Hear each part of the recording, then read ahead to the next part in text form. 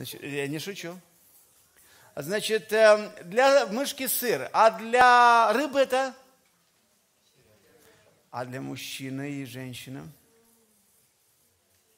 Четыре большие приманки. Иоанн говорит три, мы добавляем четвертое. Секс, богатство. А вы что смеетесь? Знакомое слово услышали? Третье. Гордость. И четвертое. Лень. Четыре большие искушения. И у, у нас у всех есть эти. Кто говорит, что у него нету этих, то поставьте гордость на первом плане. Четыре больших искушения, и у каждого человека они идут в собственном порядке. Дома приходите и ставьте, расставляйте, поговорите с мужем и женой, как они у вас идут. Еще раз, повторяю. Секс, деньги, гордость и лень. Поэтому дьявол, он расставляет приманки – и говорит, так, тот, тот на похоть, а ну, ну, давай, давай, давай ему, а ну ему такой веб-сайт, раз, кидает, оп, поймал, вот он мой. И когда рыба сцепилась, она поняла уже, что не то делает, и хочет в другую сторону, но уже боль усиливается от того, что она хочет в другую сторону. И люди, которые поймались, знают, о чем я говорю. Потому что мы все много раз ловились. Дьявол знает, кто падки на деньгах. И он выставляет ему разные deals. Много-много домов, чтобы попался сразу. Чтобы потом много лет еще не смог вытащить отсюда. Он знает, которые падки на, скажем, на гордость. Он так делает, чтобы тот человек гордился, и гордость Павел в 13 главе говорит, это надувается. Знаешь, он надувается, надувается, надувается, он смешно уже выглядит. А, а он не видит. Знаешь, гордость это как э, запах изо рта. Всем неприятно, а ты не замечаешь. И четвертое – лень. Посмотрите еще раз процесс. Первое – приманка. Второе, если ты увлекаешься, то происходит что? Зачатие. Третье – рождение греха. И четвертое – смерть. Вы думаете, что рыба мечтает попасть на сковородку? Нет. Но именно этим заканчивает на сковородке – Грех всегда процесс. Когда слышите человек, ой, внезапно согрешил, меня довели. Ты не внезапно согрешил.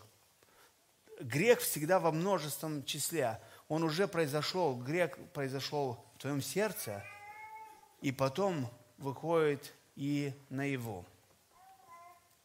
Поэтому никто не хочет закончить на крючок но как много раз по глупости мы попадаем. Я не говорю здесь как э, мастер, который не попадает. И я попал много раз. И что? Только боль. Только э, пока не каешься, пока не э, исправляешься, если вы думаете, я когда слышу в церквях, Боже, прости, если согрешил. Да согрешил. Скажи, что, чем согрешил. И, и это не покаяние. Прости мои согрешения. А какие? Это не покаяние на самом деле. Это а, просто а, такая лицемерная форма уйти от стыда. А грех – это стыд. Давайте говорить правде в глаза. Если кто-то не знает, что такое грех, это не попасть в цель. Это представьте себе, что вам дали а, лук и говорит, видите пятна на луне, начинай стрелять, но я хочу, чтобы ты прямо посередине пятна попал. И через три дня ты уже понял, что тебя обманули, и приходишь и говоришь, ну что ты издеваешься надо мной, ну не можно попасть. И вот примерно так мы э, живем. Хотим попасть в цели, сделать точно, что хочет Бог. Когда мы делаем точно то, что хочет Бог, абсолютно точно, когда ты восполнен Духом Святым и водимым Духом Святым. Правда? Вспомните на этот месяц, сколько мгновений были восполнены Духом Святым, полностью водимы Духом Святым. Теперь подумайте, что вы делали остальное время. Грешили. И если у вас в памяти нету сейчас все ваши грехи, это потому, что Бог в благодати не открывает им вам все, потому что вы, как и я, пошли бы повесить, как Юда. От шока, насколько мы ничтожны. Поэтому, когда вы думаете, что вы не грешите, вспомните только то, что мы живем каждое мгновение по благодати Христовой. Бог хочет, чтобы хотя бы мы сознательно не грешили, не пошли на большие грехи и потихоньку научились держаться, вцепляться в Него. Но никогда не говорите, если я согрешил. Согрешил несколько миллионов раз в день. Единственное, что тебе нужно, чуть-чуть взять время, подумать и э, сказать Богу. Поэтому грех происходит процессом. Сначала идет приманка, потом приблизился значит, обязательно произойдет что? Зачатие. После зачатия обязательно произойдет рождение. И после рождения произойдет... Теперь скажите, вы поняли связь между испытанием и искушением? Какая?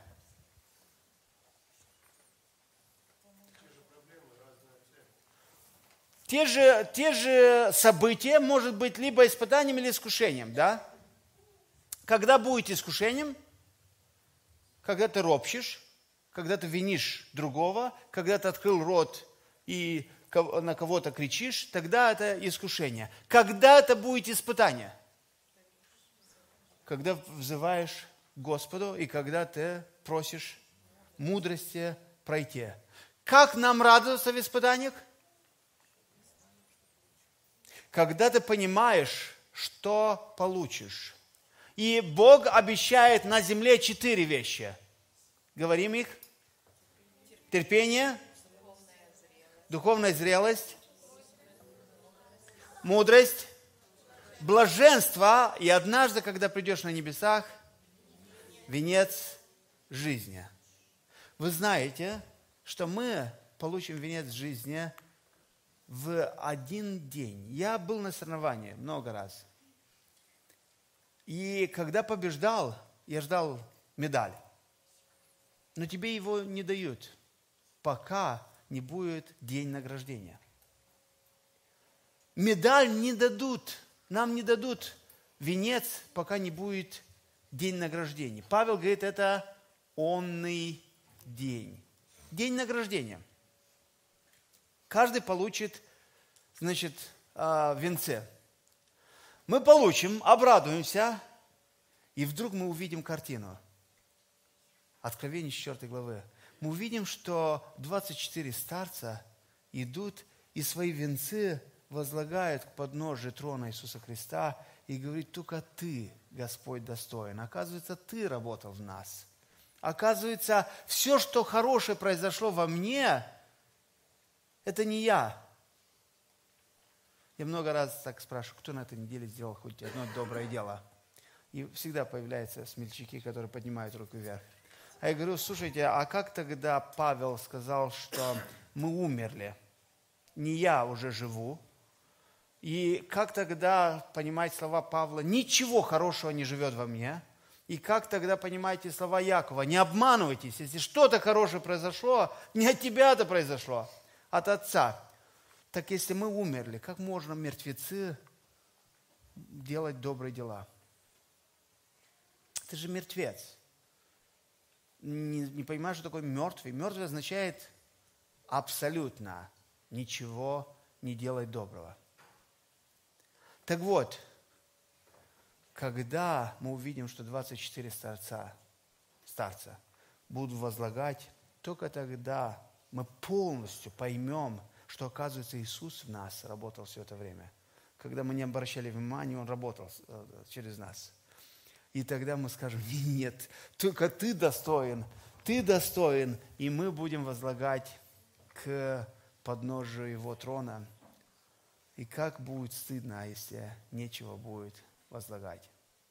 Поэтому Яков хочет, чтобы мы полностью поняли, что испытание – это проверка нашей веры, проверка нашей любви.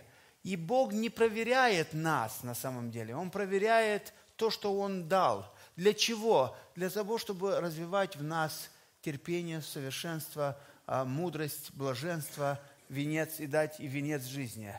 И э, мы не получим эти венцы жизни в процессе испытания.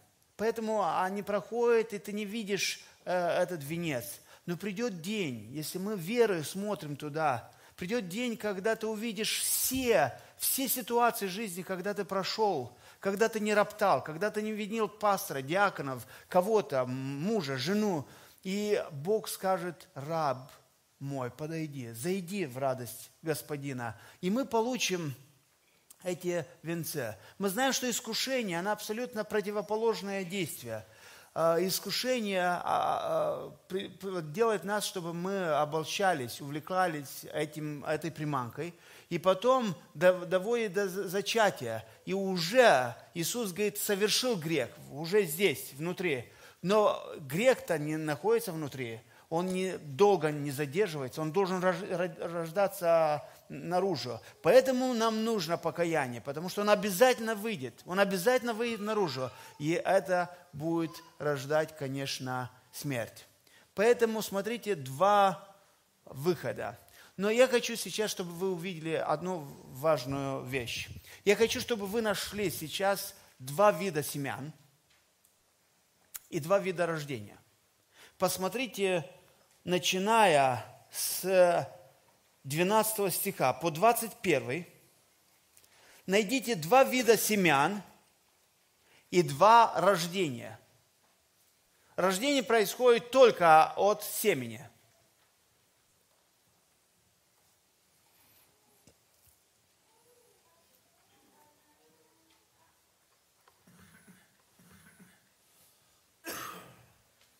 Два вида семян, два вида рождения –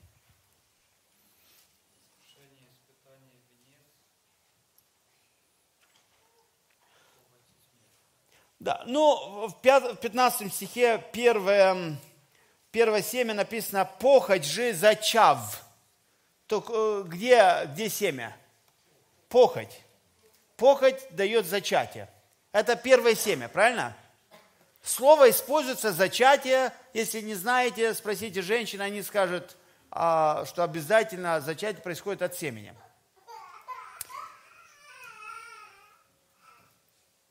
Кто-то уже проходит через испытания. Значит, эм, второе семя. Давайте найдем второе семя. Посмотрите в 18 стихе. Он родил нас словом истине. Посмотрите сейчас два вида рождения. В 15 стихе похоть что рождает? Посмотрите рождение другого в 21 стихе. Тут то же самое, насаждаемое, насаждается семя. Значит, а, рождение, а, что рождает? Спасение.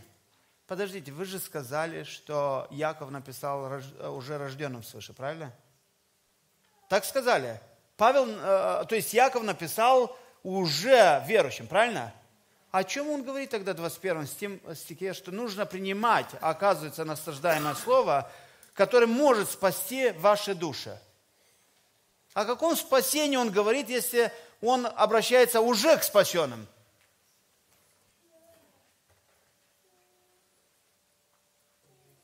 Ага, поймал я вас.